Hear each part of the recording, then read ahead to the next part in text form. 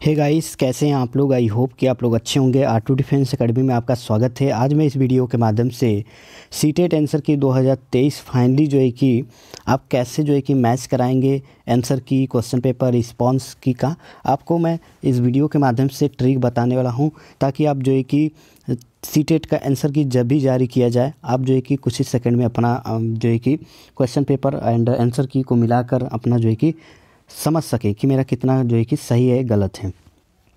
तो चलिए, ज़्यादा समय न बर्बाद करते, सीधे आपके टॉपिक पे आते हैं कि कैसे आपको जो है कि सी का आंसर की को मैच कराना है।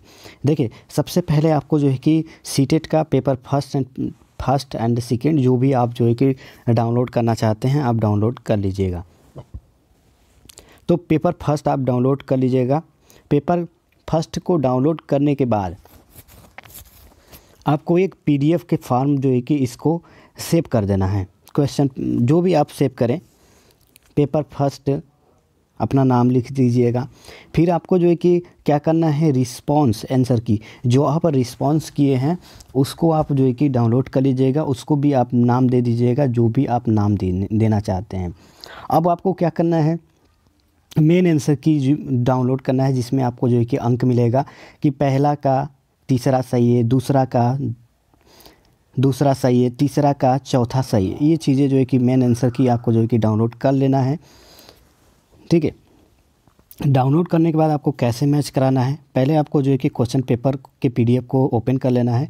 क्वेश्चन पेपर के पीडीएफ को ओपन करने के बाद आपको दिखाई देगा, पहला क्वेश्चन क्या है? पहला क्वेश्चन आप पढ़िएगा अच्छे तरीके से और ऑप्शन देखिएगा कि कौन सा ऑप्शन पहले फ़र्स्ट नंबर पर कौन सा ऑप्शन दिया गया है? क्या चीज़ें दिया गया है? उसको देखिएगा। सेकेंड पर क्या दिया गया है? तीसरे पर क्या दिया है? चौथे पर क्या दिया गया ठीक है, आप ऑप्शन भी देख लीजिएगा और क्वेश्चन भी देख लीजिएगा। थोड़ा मैच कराने में कठिन है, लेकिन आप ट्रिक समझिए कि आपको कैसे समझ, कैसे मिलाना है। क्वेश्चन देख लीजिएगा, ऑप्शन देख लीजिएगा। फिर आपको वही क्वेश्चन जो क्वेश्चन पेपर में दिया गया है, आपको आ जाना है रिस्पॉन्स आंसर की में, जो कि आपको ढूंढना पड़ेगा। ठीक है? ढूंढना पड़ेगा। ढूँढने के बाद आपको उस क्वेश्चन ये तो पहला, ये तो क्वेश्चन पेपर में पहला होगा, लेकिन उस, आप रिस्पॉन्स आंसर की में तीसरा हो सकता है, चौथा हो सकता है, पांचवा हो सकता है, उसको आपको ढूँढने के बाद आपको मिलाना पड़ेगा। मिलाने के बाद आपको देख लेना पड़ेगा कि पहले ऑप्शन में क्या दिया गया है, ठीक है? क्वेश्चन पेपर में पहला ऑप्शन दूसरा ऑप्शन तीसरा ऑप्शन चौथा ऑप्शन ये तो ठीक है। लेकिन क्वेश्चन जो रिस्पॉन्स आंसर की में, वो ऑप्शन थोड़ा आगे पीछे हो सकता है। और उसको आप देख लीजिएगा कि मैं चूजेन ऑप्शन कौन किया हूँ। यदि आप चूजेन ऑप्शन तीसरा किए हैं तो क्वेश्चन पेपर में आपको जो है कि देखना पड़ेगा कि वो क्वेश्चन पेपर में कौन सा है। दूसरा है, तीसरा है, चौथा है। अब क्या करना है कि आंसर की में आ जाना है। तो पहला आपका जो है कि क्वेश्चन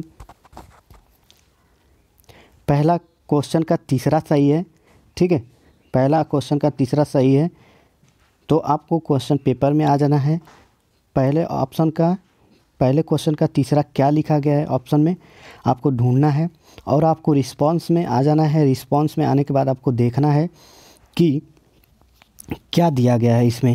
क्वेश्चन में जो क्वेश्चन दिया गया है, उसका ऑप्शन तीसरा जो क्वेश्चन पेपर में दिया गया है, क्या आंसर की में वही दिया गया है जो मैं चूज़ किया हूँ? यदि अलग है, मिल नहीं रहा है, वही ऑप्शन यदि मैच कर रहा है और क्वेश्चन पेपर में तो सही है, नहीं मैच कर रहा है तो गलत है। तो अपना ऐसे ही जो कि मिलाने का तरीका है, ऐसे ही समय लग सकता है और काफ़ी आसान तरीका है, बस थोड़ा समय लगने वाला है। और ऐसे ही चेक करने का उपाय है और कोई उपाय नहीं है। तो गई वीडियो पसंद आए तो प्लीज़ लाइक से सब्सक्राइब जय हिंद, जय भारत बंदे मातरम।